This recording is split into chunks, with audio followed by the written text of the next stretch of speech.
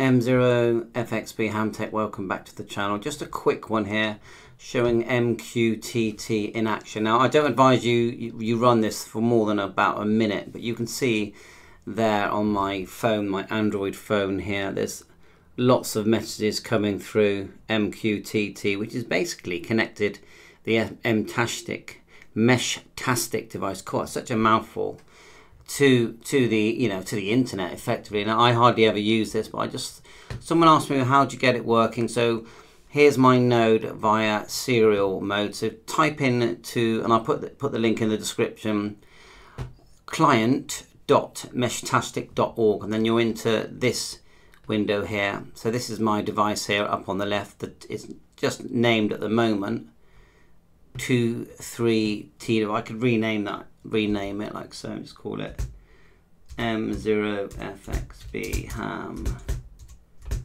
Tech, just for now. So I get sold off, and it says here short name M0FXB. There you go. Oh, it will only give let me say that, so I'll just do that for now. So you, you can see it's it's sent out, and the I'm just going to show you my my configuration if we go through, there's the messages that I've, I've already sent one. So I'll just go high like so. Uh, we've got the map there, which is showing lots of nodes there. Not sure if I'll show up, but I've only been running this for a few minutes. That's just my uh, thing there. Just cancel that for now. If we go down to config, okay. And then we've got the the client. Then serial output has been enabled enabled debug log that's turned off scrolling down. Everything else is off. Go to channels. Then at the moment at the top it says primary. Going down this one's really key. It says here uplink enabled downlink enabled. You have to click submit here as well otherwise it's not going to work that's that. Then we'll go down to node there. You've got all these different nodes that I've been uh, looking at. Back to the top here. Go to messages. Not sure if I'm going to get any messages.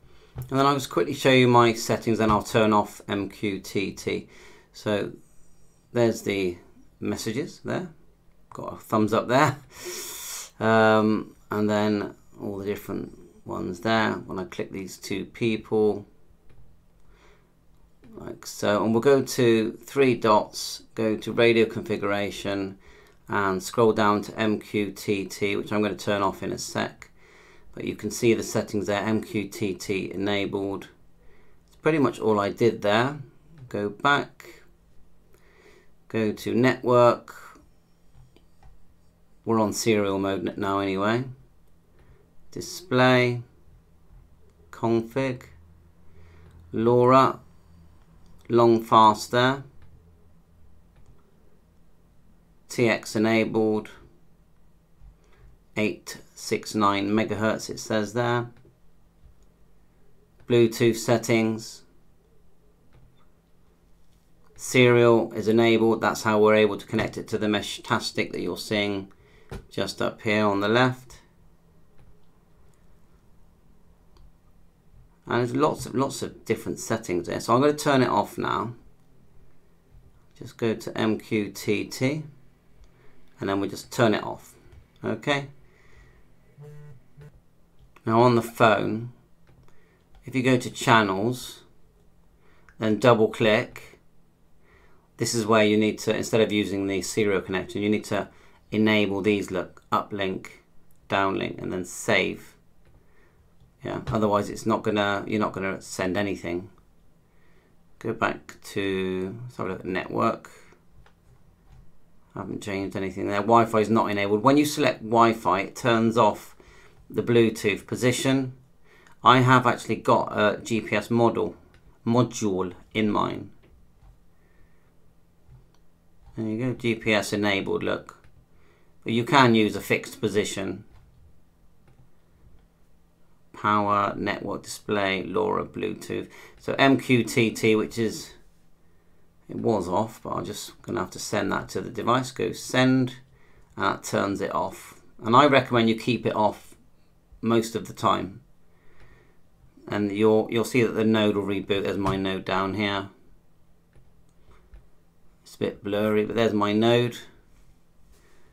Not the clearest image. And you can scroll through the node and look at all the messages sorry they're not very clear on mine.